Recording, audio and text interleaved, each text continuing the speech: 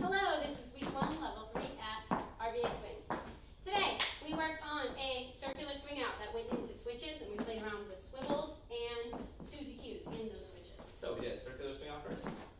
Step, triple, step, step, triple, step, rock, step, triple, step, step, step, triple.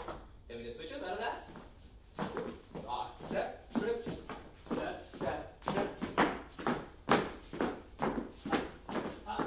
Uh, So Suzy Q's leads. Uh, Follows can also do Suzy Q's.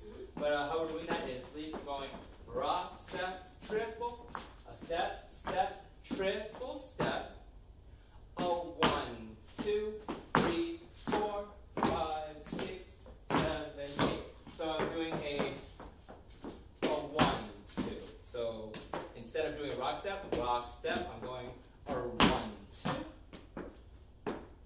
Uh, in context, do a slow motion.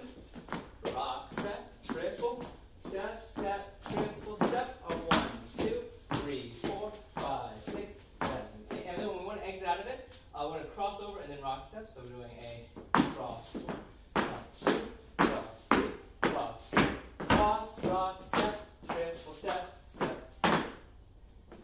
Uh, swivels? Yeah.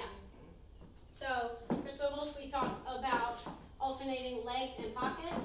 So when the right leg goes forward, left pocket,